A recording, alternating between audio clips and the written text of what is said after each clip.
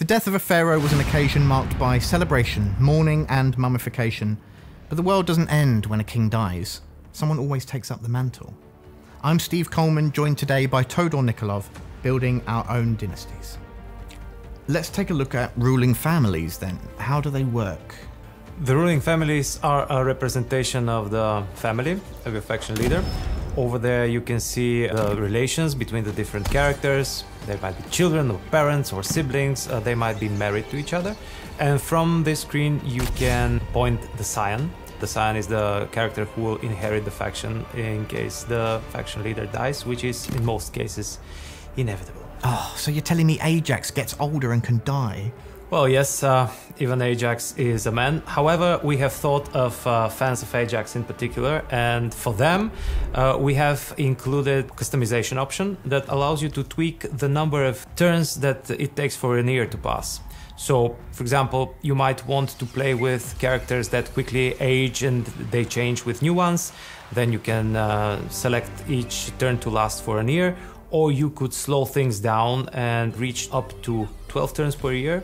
And if you really do not want to lose Ajax at all, you can have immortal characters which act just like they do in uh, in Pharaoh. Of course, this is absolutely ahistorical unless you consider vampires uh, history. Let's say, for example, that I had a really bad campaign and my entire family got wiped out. What would happen then? If potentially you got yourself into that situation, this does not mean that your campaign ends, but uh, in case your entire family gets wiped out, a random character will conveniently arise to take over and become the next faction leader.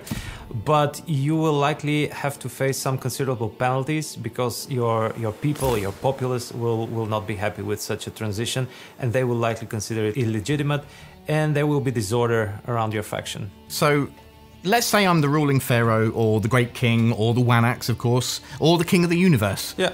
Uh, what changes in the ruling family mechanic?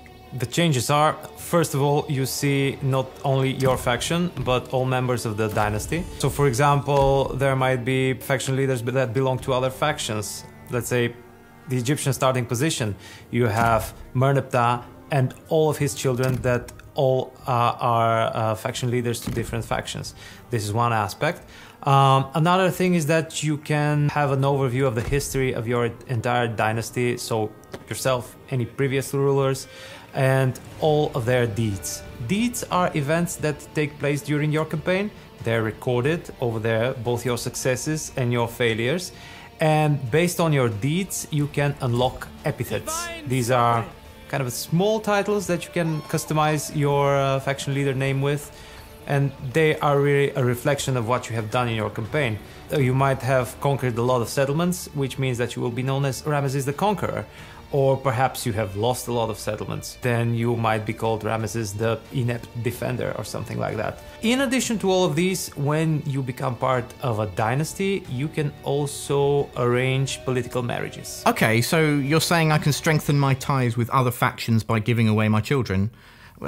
Other than sounding fantastic, uh, what else can I do in diplomacy? Well, yes, giving away your children is one of the things that you can do. Uh, this is called in the game uh, diplomatic marriage, oh, where either you give away one of your characters or take one of uh, take a foreign character in marriage, which um, will increase the diplomatic relations between yourself and another faction.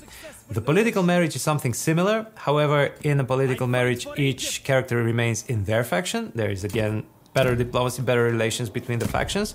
But it requires some sort of diplomatic treaty before it, it can happen, at least an, a non aggression pact between the factions. What else you can do? You can uh, force inheritance. This is a new diplomatic action which sends one of your characters to another faction where they're automatically selected as the scion who will inherit the rule of the faction once the faction leader is dead. And once this happens, you will have a relative ruling another faction, which will vastly increase uh, your diplomatic relations. This is something which I usually do with Paris when I play Troy. I send him off to another faction to so that he can become the scion and then come back to me with the faction itself. In addition to all of that, you can also trade with and barter legitimacy in diplomacy with the dynasty update. So you can exchange economic resources for someone else's legitimacy to boost your own, or you can sell your own legitimacy for resources. Although this might not be a good idea if you are preparing for any civil wars.